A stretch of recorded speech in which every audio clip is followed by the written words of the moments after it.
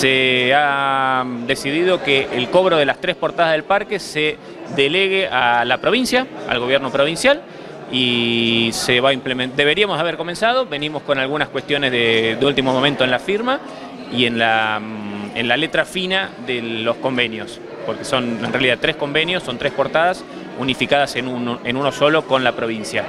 Esperamos poder estar eh, comenzando con el cobro el próximo fin de semana. Las tarifas por el momento son las mismas vigentes desde hace ya tres meses. Esto es para un extranjero, el que paga la entrada plena, está alrededor de 15 mil pesos. El turista nacional está pagando con la bonificación 6 mil pesos el provincial 4.000. El residente sigue eh, libre de cargo. El cobro va a ser totalmente electrónico, pero en la, puede hacerse en la portada del parque, en cualquiera de los accesos del parque, o como manera anticipada electrónica. No, no hablamos de una aplicación, pero sí a través de la web de la Administración de Parques Nacionales como ticket anticipado.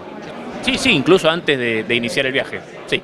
De todas maneras, va a estar la posibilidad en las portadas de eh, poder sacarlo en el mismo momento, ya sea con los cobradores o accediendo a, la web.